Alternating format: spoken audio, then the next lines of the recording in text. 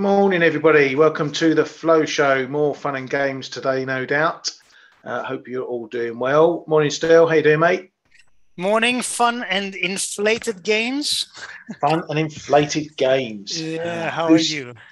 I'm all good, mate. Who said it? Eh? Who said inflation was coming down in uh, the UK? Well, it is coming down, but not as fast as hoped. But yeah, we'll talk all, all about that. Yeah, yeah, not all of it. Um, yeah, Kay's uh, probably on a boat somewhere or a train or wherever he's getting swimming, pedalo, rowboat, wherever he's going back to Belgium. So uh, he, can, he can watch the. Oh, maybe he's watching a show as he's sailing along in his little dinghy um, with the wife rowing. We'll see. We'll find out. uh, so just just me and the big man Stelios in the hot seats today, and uh, we shall get right into it. Um, yeah, Mike, I'm gonna. Don't you worry about that, Bailey. I'm gonna be. I'm gonna be pulling him up about that in a little bit. Um, right, kicking off in China and the PBOC. Um, they set their midpoint at 7.0560. So another big jump there. Um, yesterday it was 7.0326. Um, and that was a big chunk up uh, from 7.01 something on Monday. So they're still giving the green light here. Uh, they're moving their uh, midpoint up. Uh, they're fixing rate, if you like, um, higher and higher, i.e., chasing the moves higher. Um, that's giving the market uh, all the reason to keep going.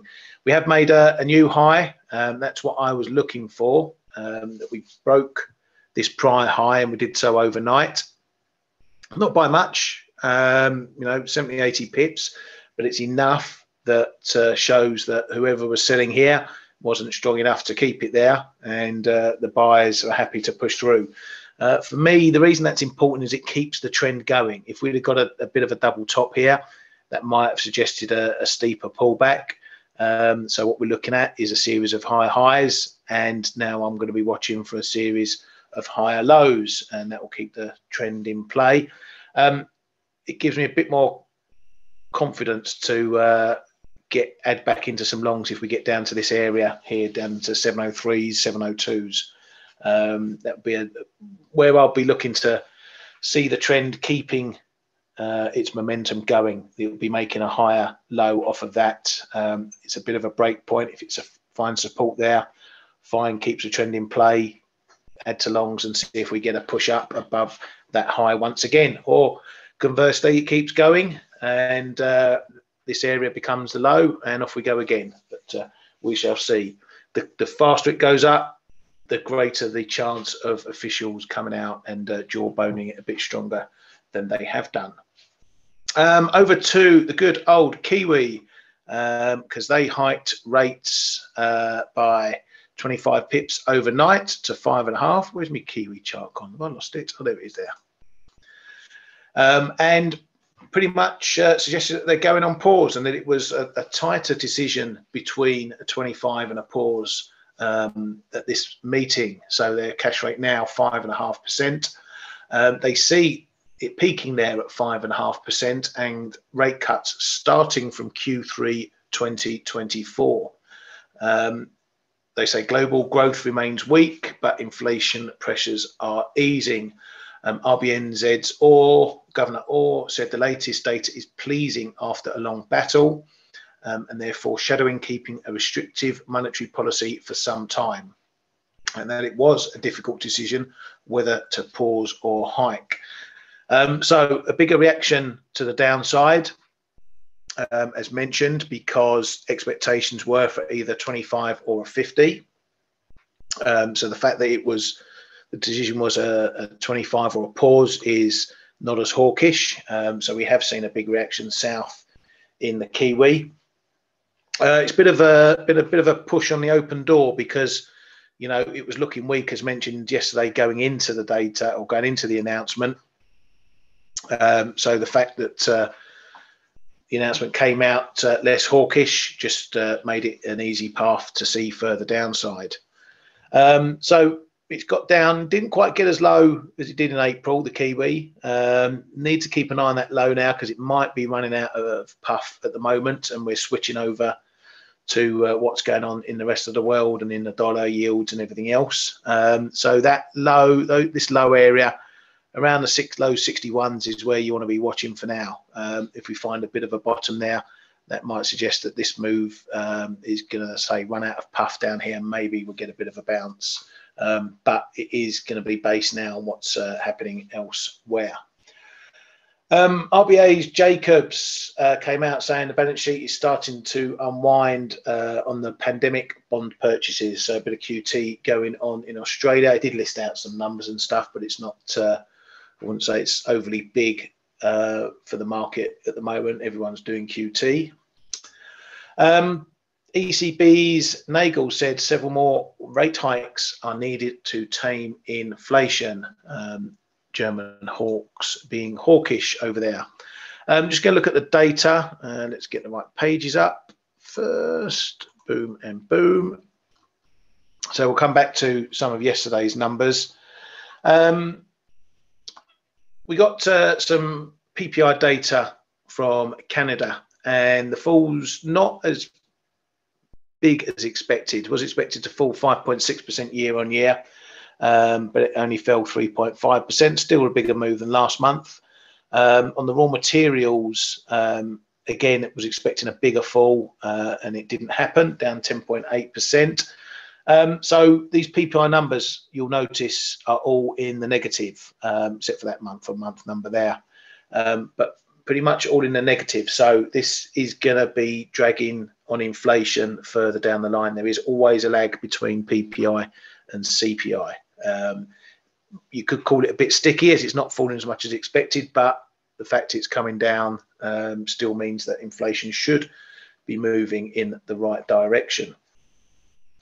Um, coming over to the US, um, and we got some uh, housing data, and obviously that S&P uh, PMI, um, the manufacturing data fell into contraction. Um, again, that divergence because, as you can see from services, it had a healthy jump from 53.6 to 55.1.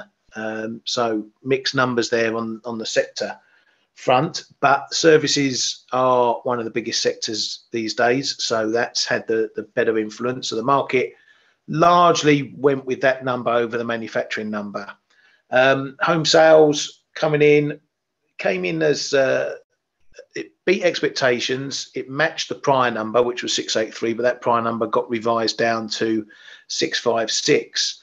Um, now, what was um, the, the standout from that is that house prices were down on last year. So potentially we may be seeing a turn in house prices uh, in the US. It's not been a straight line. Uh, some of the numbers have shown similar.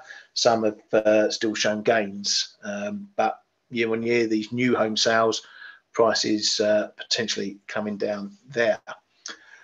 Um, Fed's Kashkari was out. He's uh, he's not shy this week. Um, if inflation stays high, we may need to keep rates higher. Um, and on the debt ceiling rubbish, um, loads of comments as you can imagine. I've tried to just pick out the uh, pertinent ones, and these are all in timeline order, so you can you get a sense of how things have gone over the last sort of uh, 12, 24 hours. Um, so the Republican negotiator Greaves or Graves said um, that Republicans and the White House are still far apart on the debt ceiling deal after Monday night's talks. Uh, wow, we've on, never heard this before. Seriously, this is brand new information. no, no. sorry, sorry. I'm I'm wearing uh, my, my sarcastic hat today. Yeah. Well, you, now now you're going to hear how things different uh, are different as, as the hours progress and how it's still a bit of a mess. Um, so House Speaker McCarthy, um, not long after that, said we're nowhere near a deal yet. Um, apparently told GOP lawmakers a deal is not close yet, but said we could still finish this by uh, June the 1st. And then a US Republican, uh, Hern, came out and said McCarthy told Republicans that we're closer every day on a debt ceiling deal and have got to get there. So one minute a deal's not close, and the next minute a deal's getting closer. Um, the White House came out with a statement saying Biden and McCarthy had a productive meeting on Monday, and both reiterated that default is off the table. Um, so this is what I'm picking up now. Okay, we're in a situation where we, we're likely to be heading towards a deal. Uh, first and foremost, it's sounding as we sit here right now, it's sounding like um, a debt uh, default is pretty much off the table, or as near as can be going to be off the table. Um, I think things will have to turn really sour really quickly for that to come back on. Never say never. Um, but both sides are, are, trying to talk down that uh, they'll actually see a default. So that's a bit of a positive for the market to hang on to. Um, I think you know there's probably lots of uh, lots more red lines and things they need to to cross over and negotiate. Uh, as I sit here now, I, would say it was probably 70-30 that we don't get a default. Um, but that really, yeah, 70-30. I would say 95-5. 90, yeah. Yes, chance okay. of default, I would say less than five percent.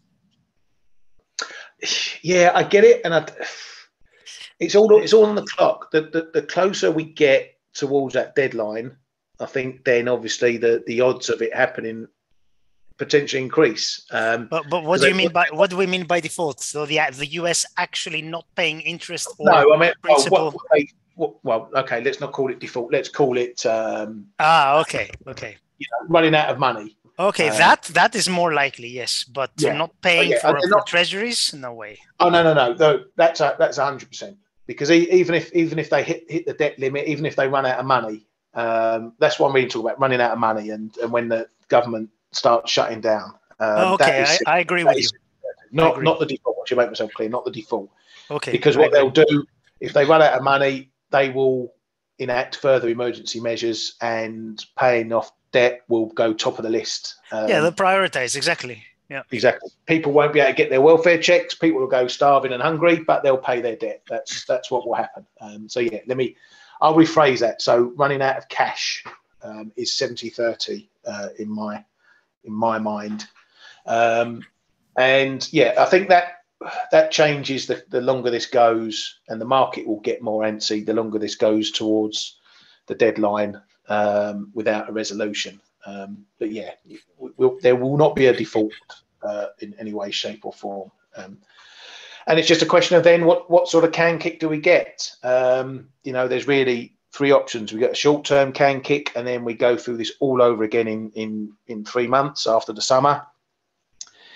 Um, we get a deal agreed, and it's all signed, sealed, and delivered um, right now. That's the most positive outcome. Um, and in the middle of that, we get a deal agreed, but they kick the can for this three months while they go over the call it the contracts and the, the signing, dotting the I's and crossing the T's. Um, but the market will obviously be happy with either of those two uh, latter outcomes. Um, anything that's a short term can kick and we're back in this situation in three months, I think will be seen negatively, um, as we've been saying for quite a while. Um, but anyway, that's that's the waffle of my thoughts on, on where we are uh, on the debt stuff. Do you, do you uh, well, you just said you you got similar yeah. thoughts yourself, Stel. Yeah, I think the um, the fact that um, uh, was it Biden who said that uh, a default is out of the question or something like that. Um, yeah, both, that both for me, them, yeah. yeah. but that for me tells me everything I need to know because uh, if they don't default, it means they need to keep making payments uh, naturally. Uh, and with a trillion plus deficit every year, how do they fund these payments? You know, they might mint a trillion, quadrillion uh, dollar coin. That's one way. But the other way is to raise the debt ceiling. And that's what they're going to do. So for me, um, I still think there's absolutely no way they're going to default on debt. Uh, could there be a government shutdown? Of course, it could. It was it happened ten years ago. It could happen again. We've all seen that this is not positive in any way for the government or the country or anybody. Uh, the only reason why they're doing all these shenanigans is because they're obviously negotiating what they want for their people, each side, and that's how politicians know how to operate, and that's how they've always operated. So they're jockeying for position, trying to get the, the stuff they each want, and then they're going to announce that the debt ceiling is raised. Um, so for for me for what i think the markets are going to do uh, in particular what i think the dollar is going to do and of course we're going to talk about markets in a bit but just as i have this train of thought i just want to complete it. Uh, if there is um, less than 5% chance in my opinion any kind of proper default the absolutely whacked.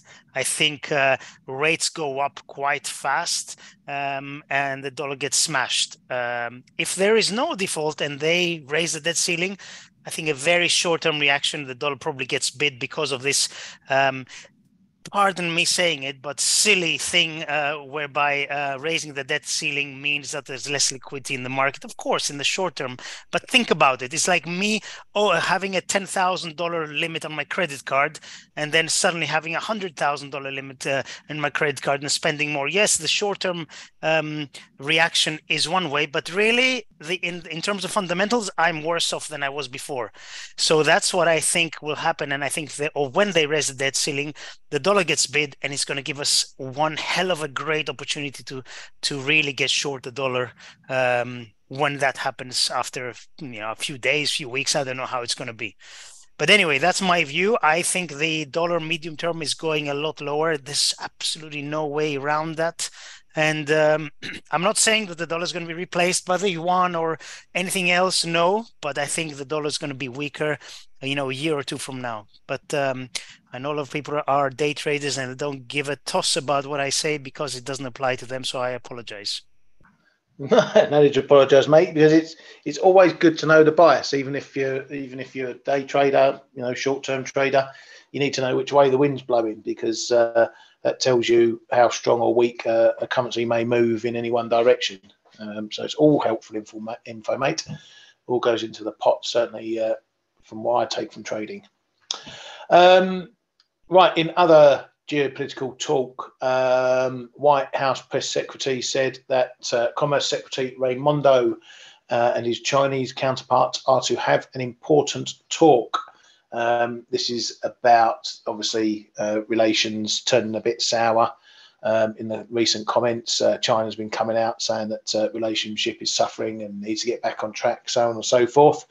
Um, so we've been leading up to some talks uh, with the various different, uh, let's call them government uh, levels. Um, so they're going to have an important talk apparently. But while China has been uh, spouting off about how they need to get relations back on track with the US, uh, Premier Li um, had a meeting with the Russian Prime Minister in Beijing and said pragmatic cooperation between China and Russia has shown a good development trend. China is willing to work with Russia to promote pragmatic cooperation in various fields and take it to a new level. So, talking out of both sides of their mouth there um, and just keeping everyone aware that they are on the side of Russia at the moment, uh, especially given everything that's going on in the Ukraine. Um, right, coming over to today's data, and the big one really was the CPI data from the UK. Um, now, coming into the data yesterday, you remember we had Bailey speaking. Um, he said we must not try to fight inflation with very severe increases in rates. Um, and he said we are nearer to the peak on interest rates. And then uh, before that, his first line was that inflation has turned the corner. And we all wondered whether he was giving us a bit of a nod. Well, inflation was expected to drop to 8.3% or 8.2%, depending on what calendars you're looking at. Um, it came in hotter than that at 8.7%. So it did drop but not as much uh, as many were expecting. However, you have a look at the core number, and that went up to 6.8% from 6.2 expected and prior. That's a fairly hefty jump for the core number. Um, that's the one they will be looking at. Uh, so that number alone has probably sealed the deal for a hike in June, another hike in June, and I suspect uh, maybe one or two more after that, depending on what this number does hereafter. Now, the only saving grace for the BOE um, is the PPI numbers. Um, as you can see there, the core PPI output number. So this is prices uh, coming out of uh, manufacturers, factories, services, whatever. Um, that did drop quite chunky to 6% from 8.3%. Um, also the RPI, core RPI. So this is retail pricing. Again, another significant drop.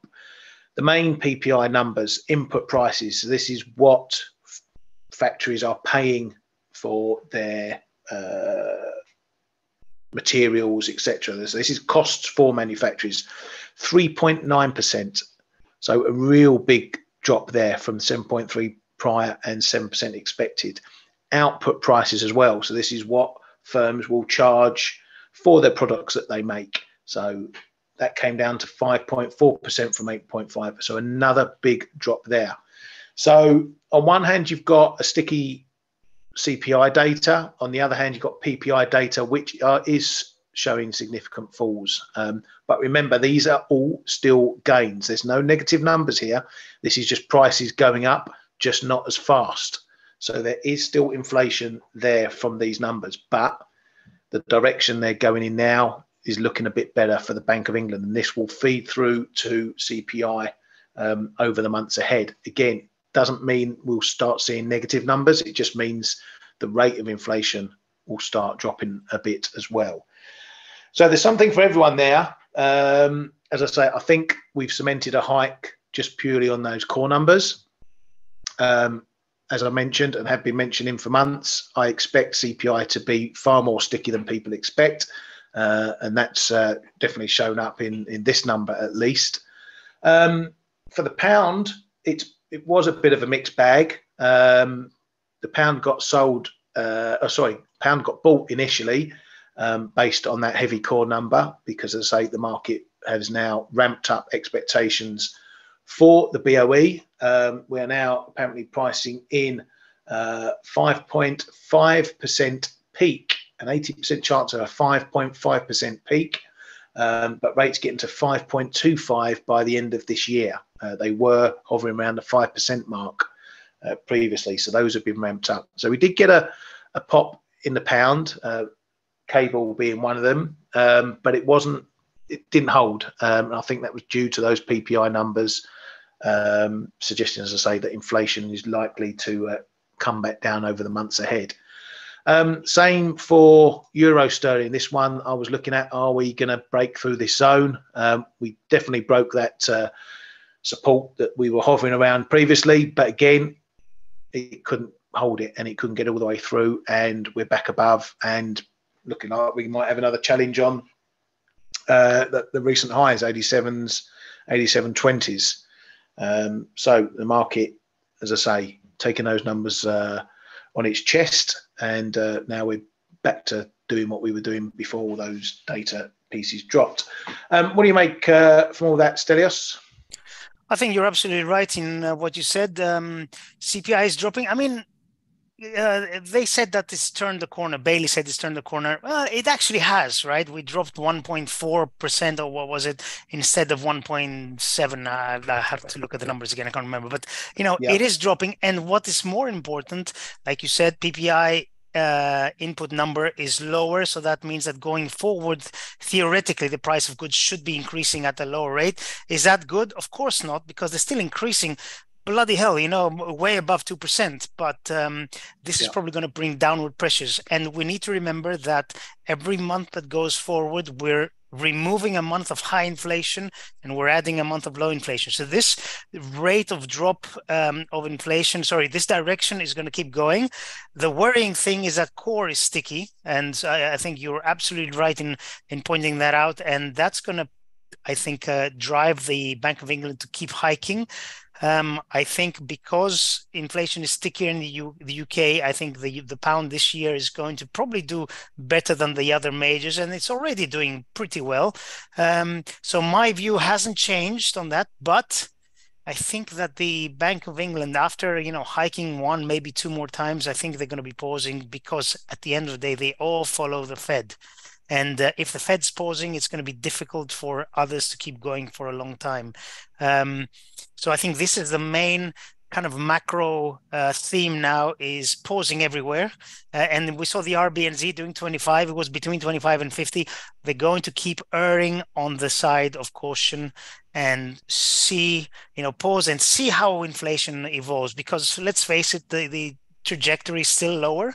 So they're going to use that as an excuse to say, okay, let's see how that uh, evolves. Uh, do I think it's right? Eh, I think they should probably, well, they should have done a lot more a lot sooner. But uh, at this point in time, it's not an unreasonable thing to expect from central banks.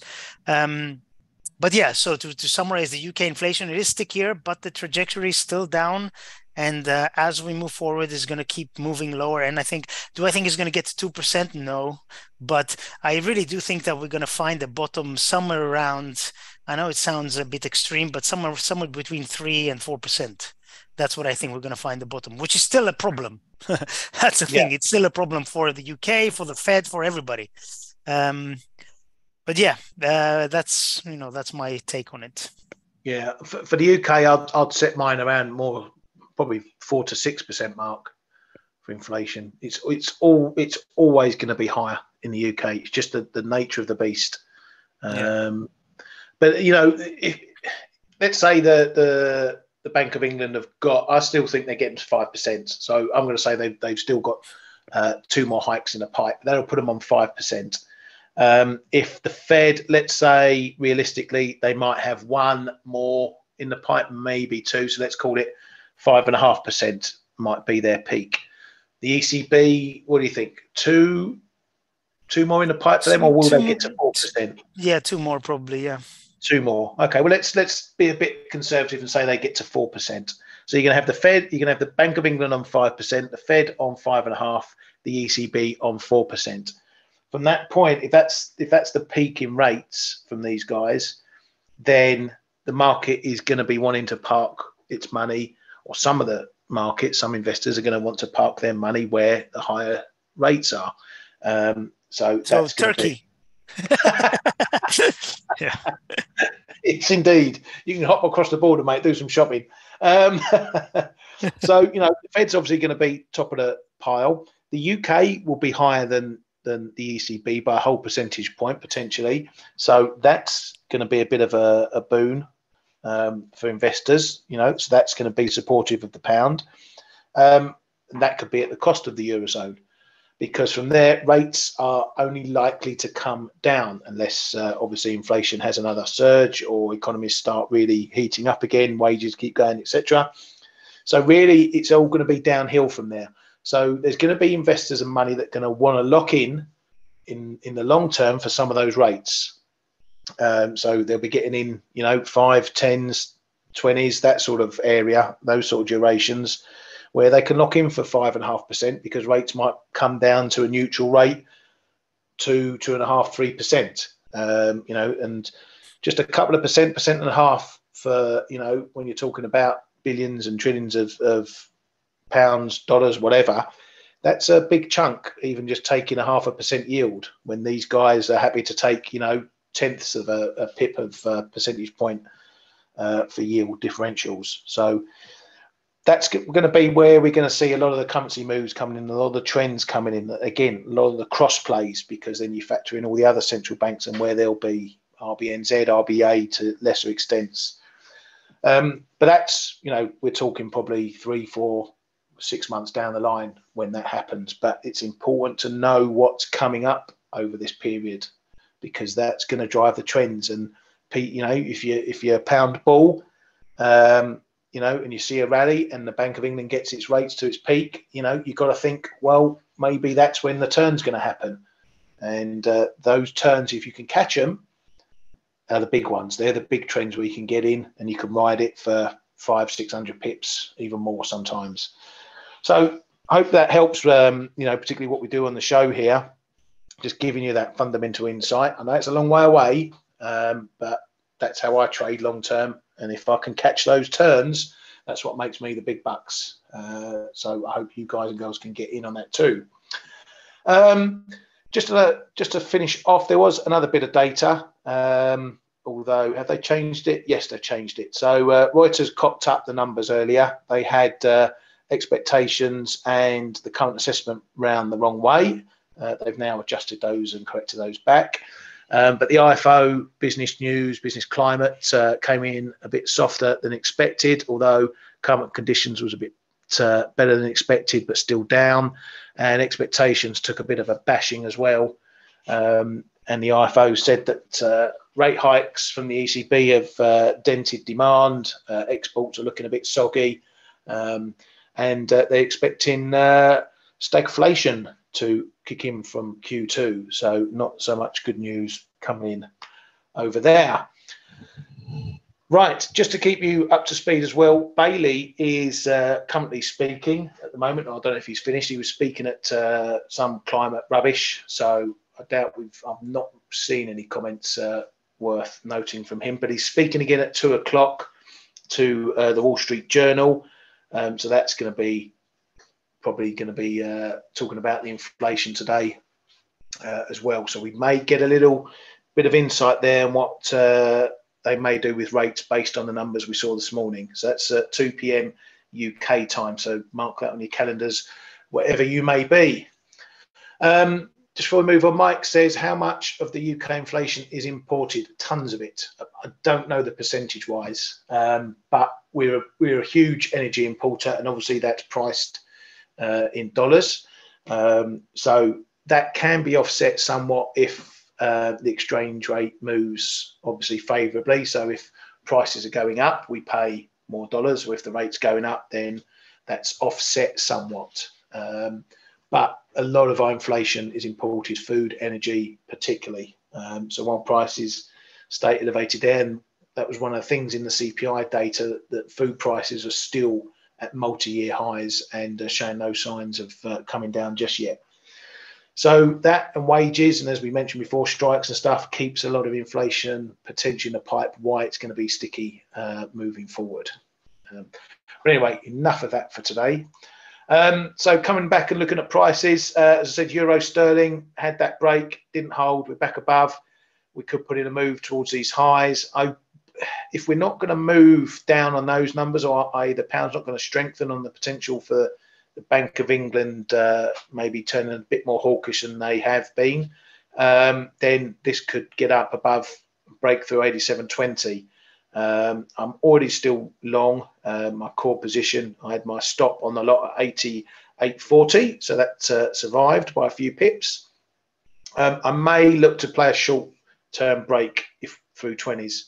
Um, if that happens, just for a, a, quick scalp, see if we get a, a little run up to maybe uh, 87, 50s, 60s in this zone up here, um, just for a little scalp. Uh, because something, to me, something's got to give here. Uh, we had a crack, couldn't hold it. So if we ain't going down, there's only other one way to go, and that's up. Conversely, if we get a move back down here and we find this area holding around 86, 70, that'll give me maybe a bit of conviction to try a, a trade off of here. Again, a bit of a short term one, and uh, see if if we can play the ping pong game between there and 87.20. Uh, for the good old cable, um, nothing really of note there. It, it had to say, had to move up, it's had to move down. Um, hasn't quite got down to these prior lows uh, that we saw yesterday. Um, so that's a bit of a marker there. It is a bit of a prior um, support point. We've seen that before. Um, there may be uh, some of you watching for a bit of a head and shoulders developing not my bag, but good luck to you. Um, the big support level is still down here towards these fibs um, and the low 123s into 123. So if this move does continue, uh, keep an eye on there. But I think we're probably again switching to watching what's going on in the dollar uh, and yields and stuff. Um, I know Stel's going to talk about yields, so I won't uh, touch on those uh, too uh, for too long. Um, I keep an eye on this two year, as you well know. Um, this 4.2627, give or take, is holding. Um, so while we do that, it suggests that further upside is in play and pairs like dollar yen um, and the dollar will follow that. Uh, so as always, keep an eye on yields. Um, I did get a question from one of our roomies um, about whether tens can get back up towards that 3.9 area. Um, I think it's possible based on the volatility. Um, you know, over the space of a couple of days, it's quite easy to do 20, 20 pips in this one. Um, fundamentally, I don't think so, um, because where what the data's shown right now is that yeah, things are okay, um, nothing great, nothing horrific. Um, I think only if we get a real strong uh, turn in the economy, i.e., better, real better numbers, um, will yields get back up there. The only other way I think yields will get back up to those sort of levels is if we do hit, uh, if we do run out of cash and um, we hit the, the deadline without a resolution, then investors are going to demand a premium for buying US debt. Premium means higher yields, uh, much like we saw in the one month yields, uh, which had that big jump up at that auction. Um, because investors said, You want me to lend you uh, money for a month while you might uh, be defaulting, you're going to pay a price for it. Um, so that's another reason why yields might go back up towards the, the, the 4% mark, call it. But just based purely on the fundamentals, I can't see us getting there on that. Um, and Stel says, you know, if you're going to be getting a weaker dollar, yields are likely to be coming down as well.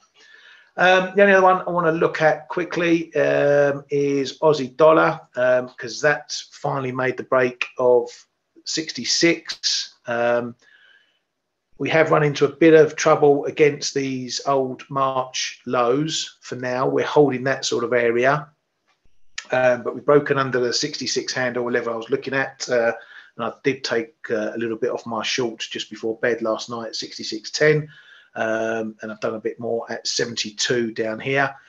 We've got this big zone coming up, and I've been highlighting for quite some time. Big support zone. Let's get it up there. So this blue area down here. It really starts from the fib around 65.47 down to 65.20s, call it. Um, and then you can probably extend that down to the big figure.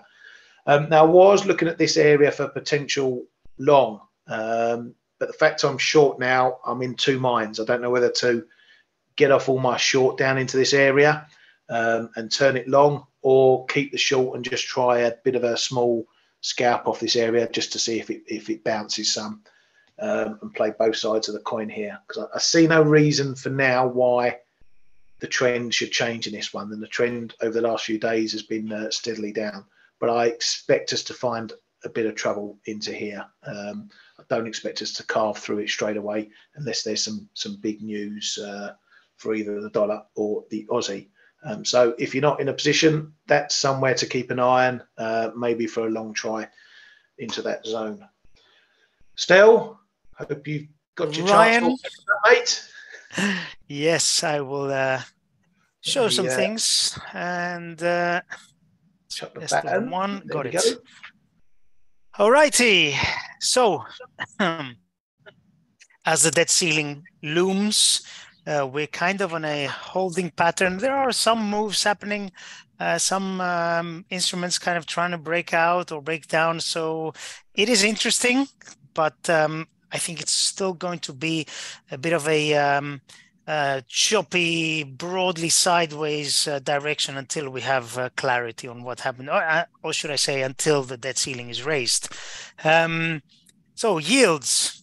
Well, the 10 year actually broke above that 363 high. What what was that? So theoretically, as long as this holds, we're heading towards um, the top end of this uh, resistance trend line. I know it's only two touches, so it's not that um, um, strong, but um, perhaps confluence of this fib and this uh, trend line L390 uh, could be the next target. I mean, if you ask me, I would probably say that uh, I want to be long yields as long as we're above that breakout point. Um, and it's it was seven sessions in a row, pretty strong ones as well.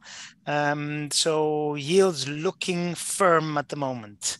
Um, uh, what so that's with that done with uh, we go to the dollar. And the dollar is kind of similar because let's face it the dollar and um, uh, treasury yields are correlated. Uh, not a perfect correlation but uh, you know as the dollar rises uh, that usually means that rate expectations are going higher for the us compared to other countries. So the um, uh, you know yields are also rising with it. Um, so the dollar bounced off these lows. I mean, we really tested those. We've tested them uh, four or five times now, um, and this move has been pretty uh, strong. I do think that we're going to probably continue. Um, do I think we're going to get to those 105.90 highs? I don't think so. But um, you know, it could be when the debt ceiling gets resolved and and pushed pushed higher. Um, I think the knee jerk reaction is going to be to buy the dollar, and I think we should be waiting for that move uh, to kind of uh, materialize and and complete before we sell into it. Um, so my view is dollar bounces up towards perhaps 105, 104 and a half, 105, and then uh, it's the long journey south. We break below the lows, and then who knows where we go. Um, and now I'm going to be looking at specific pairs to short, um, dollar pairs to short. The euro dollar, mm, might be one of them to get long. Uh, it depends on where we go. If we get near that 105.20 or 105, whatever low it is, I think that's definitely worth a shot. But you guys know, guys and girls know that my favorite is the dollar Norway, which has broken out. I'm not touching it now. Remember, I tried the short here, 1081, was it? Uh, it worked for a little while. And then I, I brought my stops to break even because I thought, look, if it comes back and retests this, it's probably going to break. Um, so I got taken out at flat and it's just gone straight through. Um, which goes to show um, that uh, you know you need to be disciplined. You need to have your levels and really try to avoid moving your stops. It is a a, a big um, how, how do you say it? Um, I know the Greek word. I've forgotten the, English word now. Huh. Anyway, it's uh, it's tempting. It's a temptation, but um, you really shouldn't. Um, so the dollar Norway, I'm looking at, you know, these highs at 11. We're almost there. So I think um, these are going to get taken out probably if the dollar rallies, which I think it will uh, on a debt ceiling resolution. I think they're going to get taken out. So the only other level we have is that 12, 11 all-time high, which I doubt we're going to get there. But um, uh, this is definitely a pair I'm looking at and waiting and waiting for that. The other one is a dollar CAD, um, where I'm going to be waiting for a, a, break below this. I know we're 200 base points above, so I don't care. But once that breaks, I think there's a lot of room below. Uh, I am definitely going to try and play a short um, if we get to the or when we get to this uh, resistance trend line. But again, you know, this is another pair where I'm not at any level that I like yet, so I'm going to be waiting for that. Um, I do I do wait a lot. I do tend to wait a lot. I know I'm not a day trader, but I like to um, let things get to my levels. Um, cable is interesting. Uh, it really is wavering now. You know this this kind of breakout that we had has been going sideways, and it is uh, not uh, not looking great. so I don't know what to do with cable. I really think I want to be a buyer on dips of, of sterling in general, but um, with a potential rally in the dollar coming with a debt ceiling resolution, I I wouldn't I wouldn't pull the trigger just yet. Um, where do I pull the trigger? That's a good question. Uh, I don't know. Get rid of this. Oops. What did I get rid of? Uh, let's see. This here if this was a high wow yeah okay uh i don't know is the answer i need more price action um the euro pound as long as we're below these um 87.2 the breakdown level we're close and um, we're not breaking down as convincingly as I thought we would. But as long as we're below that, I'm still bearish. And um, you could say that this kind of like two week action is bearish consolidation. Could be. You know this uh, a pretty impulsive move then we're sideways. We could continue. Um, it will depend on the bank of england. It will depend on a lot of things but i do think that the bank of england probably has a little bit more uh, of hikes to do definitely definitely than the fed and perhaps than the ECB as well. So I am still constructive on the pound for the remainder of the year, but obviously the uh, things can change as economic data gets released. Um, metals, uh, gold has bounced from this fib and this uh, support. Used to be resistance up here. It's uh, support now. Uh, excuse me. Uh, but I still think that the next move for metals is still lower. Um, you know, where can we get? I I I think that gold could I know it might sound a little bit aggressive, but we could go another hundred bucks below, you know, towards this 1850 level. Uh, but uh, it will depend on the dollar and the market's knee-jerk reactions, which are completely irrational, but they happen, and this is what we have to work with. So if the debt ceiling gets, or when the debt ceiling gets um, increased, which means that the uh, U.S. will be able to borrow lots more and uh, eventually monetize a lot more. Um, which means effectively printing a lot more money.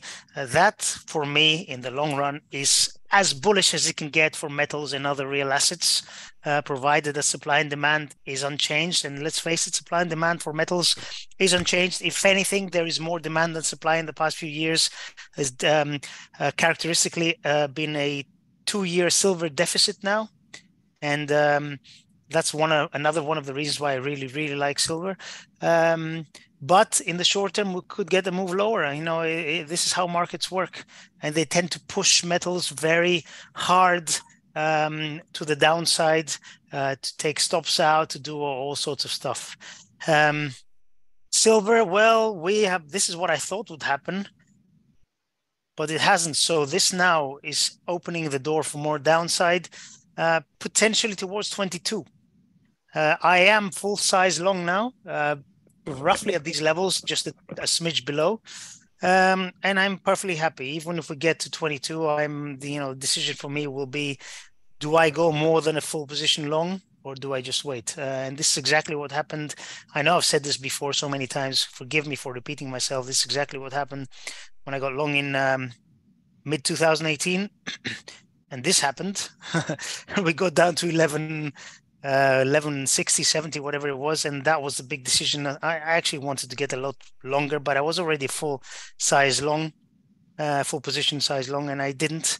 And then i got rid of it basically at around 24 and a half 25 so that was a really good run but i had, had to wait a year and a half for it and i had to stomach this loss here. And i think this could happen again. This could play again. Um I'm unleveraged. Do we get to 22? Yeah, we could easily. And that's a you know almost a 10% drawdown. I i'm not worried um, because i do think that the um, the macro situation is clear uh, as can be. And um, i think we're going a lot higher. And if you think about it it's perverse that silver gets smashed because inflation is high I mean, everything's getting more expensive. Silver cannot be getting cheaper unless supply is a lot bigger than demand, which it isn't. So, uh, definitely, you need nerves of steel for this. I'm not recommending you do what I do, not in a million years. This is what I do. This is how I trade, and uh, it's not for everybody. So, I'm just describing what I'm doing. Um, platinum is a similar story it's also retested this channel. I know probably haven't drawn it perfectly, but uh, this looks like it is also breaking down a little bit. Um, so could we get towards these lows at the low 900? Yes, we could. I think we're going to get to absolutely incredible buying levels in these metals, um, platinum and silver, a lot more than gold, because let's face it, gold has been a bloody monster. I mean, look at that. Given what the Fed's done over the past and the other central banks over the past couple of years, this is in, insanely strong price action any way you look at it. So i am not worried at all about these. Okay so moving on to cryptos. Um yeah so this might not well was this a kind of a triangle that broken? I don't know but if i remove this line here impulsive move lower consolidation. Does this look bullish? No it doesn't. And um, We've had risk selling off because we're getting closer to a potential um, government shutdown. There's no resolution. So risk gets sold, cryptos follow. It's uh, as simple as that. Um, yeah, I really wouldn't want to be long here. This definitely looks a bearish, like a bearish consolidation to me again, as I've said so many times, if or when there is a resolution and um, equities rally, which they do, I don't see a scenario where uh, cryptos are not going to follow. Maybe they will un- underperform, yes, but if the uh, S&P is up two percent, I don't think cryptos are going to be down. Um, so that's what I'm saying. So talking about the S&Ps, uh, this was interesting. We got to the highs, just took them out, and then came right back down. So did we get a false breakout? Does look like it. I'm actually surprised that we didn't uh, trigger all kinds of stops up here. Maybe they're a bit above. I don't know, but um, this does looks like a does look like a false breakout. So now we're back within this range, 4200 to well to 40 45 40 50 so this is now still the range what do i think is going to happen i still think the probabilities this will break to the upside because i still think that the uh, the debt ceiling will be raised and all this uncertainty and fear over default are going to be taken out so do i think we should be shorting uh, no I don't think. Do I think we should be going long? No, because we're right in the middle of this range now. So um, I think it's wait and see now. Uh, if we get close to these lows, I think it's probably worth a shot uh, getting long. But personally, I will be buying when we break the highs again, because that will mean that there has been a resolution. And um, I think the trip towards 4,300 is going to be a very quick one after that. Um, that's pretty much it. Uh, oil, I don't trade. I've said this before. I mean, look at these daily candles. They're absolutely horrifying for somebody like me. If you guys and gals trade oil and you're doing well, I salute you. You're much better than I am. Um, yeah, I'm leaving that. Anyway, that's it from me, uh, Mr. Ryan. I hope I was helpful, everybody. the, and, the uh, short analysis in the world, folks. yeah. I hate to talk about things that I don't know what to do with, so I'm just going to leave them alone. Yeah, best way, mate. Best way. Um, yeah. Right, let's grab uh, let's grab that back quickly. Boom and boom. Uh, see my screen all right? Yes, sir. Gotcha, gotcha. Good, good stuff. Um, Ellie's, Ellie was asking about gold. Um, he's short. He's short, seventy-seven. Um, Yes, fair enough. You've got a little bit of a high area here around 83s, 85, just off the bounce there. Um, you know where you where the support is coming in now. It's coming in around that uh, 1950s. Um, I was looking at getting in some shorts if we got a, another test up here, which we didn't get. Um, so that would have been a nice trade to sit on, but we can't trade backwards. Um, I, I, think rallies are going to get hit again if we get a move up here, depending on the, the driver, of course. I think gold goes lower if we get a resolution. Um, that was the basis behind my trade. Um, I think for now, like uh, Stel's mentioned, with with quite a few things, we're just like the S and P. We're just we've had a big move. It's not yet broken. Um, you know, if you take this leg from November, uh, let's stick a quick fib in there. If I can do it quickly. Come on, where are you? There we go. Snap and snap. Just roughly, so you can see there. So at the moment, you've got to see what work has to be done to change this trend. Um, so you know, the first thing is getting down to the 38.2 fib. So while we're up here, we may have had a little blow off the highs, but we're potentially just sitting in no man's land. So Ali, for your trade, I know you're trading a bit more short term, so uh, that's uh, good for you. Um, but you know, if you're not going to get through this 1950s, uh, then that's where you want to be looking at uh, to take profit. Um, you're targeting 61 anyway, so just above that zone, so not too bad. Um, anyway, um, on the oil front, yeah, um, again, I just don't see this as doing anything now. This is probably one of the longest consolidation periods we've seen in oil um, for quite some time. Um, as you can see, it's always moving. You know, we've had a period of since December where we're just going sideways. We, we're having a bit, we're having the odd move, but it's always coming back to this area, um, which shows a lot of indecision. This is going to be one that is going to be affected by the fundamentals. You know, things like the PMIs. We're seeing manufacturing suffering um, in a lot of countries. Um, I'm surprised oil isn't uh, a bit lower on all those. Um, obviously for the global recession fears, if you like. Um, but then, as we spoke about yesterday, we've got the uh, we had the Saudi oil minister coming up, popping up, and saying that speculators need to be careful that they might pull a rabbit out the hat, and we get another bounce. Uh, if that's the case, our old 8250 level will be in play, um, and if uh, any sort of noise like that can't bust that level, then uh, everyone should know what to do with it. Let's just have a look at that quickly into there. So we did get a bit similar to the S&Ps. We had a big level, 42s or here and all. We had a big 18250. It stuck its nose above and then wallop all the way back down again. So that's your key area still for the top side. Unless we get out of this area and hold, uh, we've had a couple of tries, but we've had the moves down, but they've come back. So unless we get a real solid hold under this sort of 70, 72 area, um, and it stays there for a while, then only then will we get further downside. But uh, as I say, to get the upside, we need to get above this 82.50. But you know, there's eight bucks for you to play with in that area, if you so wish.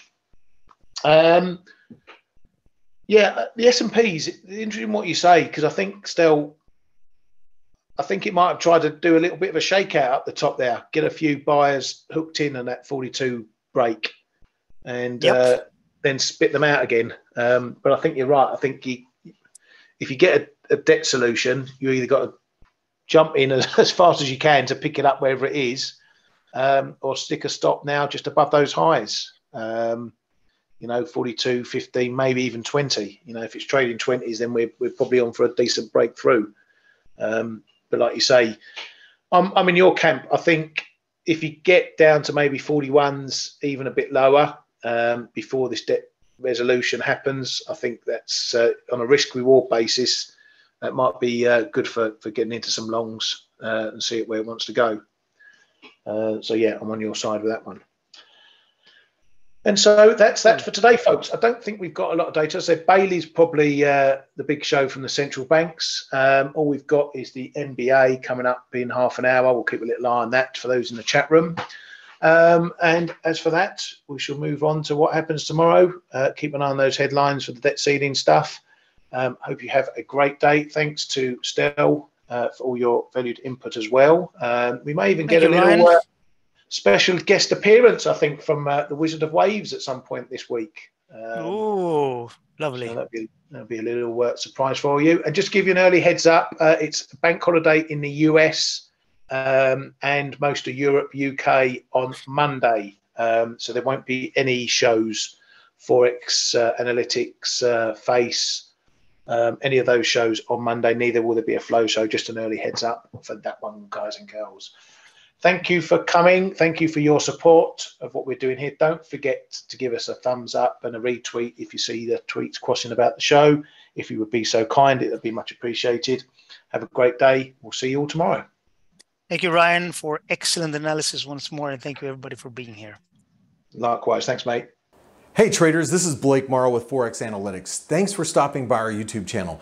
Don't forget to like these videos, share them, and subscribe to our channel so you don't miss any of the content that we provide here for free. Thanks for stopping by. I'll see you in the next video.